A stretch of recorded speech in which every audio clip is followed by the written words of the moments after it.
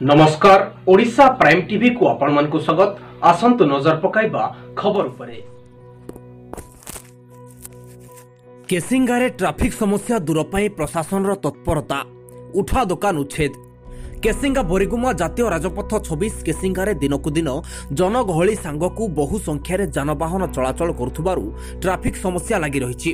ବିଭିନ୍ନ ସମୟରେ ଛୋଟ ବଡ଼ ଦୁର୍ଘଟଣା ଘଟୁଥିବାରୁ ଧନଜୀବନ ନଷ୍ଟ ହେଉଛି ଏହାକୁ ଆଧାର କରି ଗୁରୁବାର ପ୍ରଶାସନ ତରଫରୁ ଏନ୍ଏସ୍ସି ନିର୍ବାହୀ ଅଧିକାରୀ ବିଶ୍ୱମ୍ବର ମିଶ୍ରଙ୍କ ନେତୃତ୍ୱରେ ସକାଳ ଏନ୍ସି କାର୍ଯ୍ୟାଳୟରେ କର୍ମଚାରୀଙ୍କ ଉପସ୍ଥିତିରେ ଏକ ବୈଠକ ବସି ଏନ୍ଏଚ୍ ରାସ୍ତା ଛବିଶ ଉପରେ ଜବରଦଖଲ କରି ବିଭିନ୍ନ ବ୍ୟବସାୟ କରୁଥିବା ଉଠା ଦୋକାନୀମାନଙ୍କୁ ଉଠାଇବା ପାଇଁ ଆଗକୁ ଆସିଛନ୍ତି।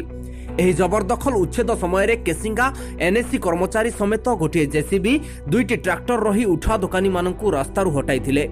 ଏହି ଉଠା ଦୋକାନୀମାନଙ୍କୁ ରାସ୍ତାରୁ ଉଠାଇବାର ସହରର କେତେକ ବୁଦ୍ଧିଜୀବୀ ନାପସନ୍ଦ କରି ସେହି ଦୋକାନୀମାନଙ୍କୁ ଥଇଥାନ କରିବା ପରେ ଉଚିତ ଥିଲା ବୋଲି କହୁଥିବା ବେଳେ କେତେକ ବୁଦ୍ଧିଜୀବୀ ସଂଗଠନ ଏହା ଉଚିତ ପଦକ୍ଷେପ ବୋଲି କହିଛନ୍ତି।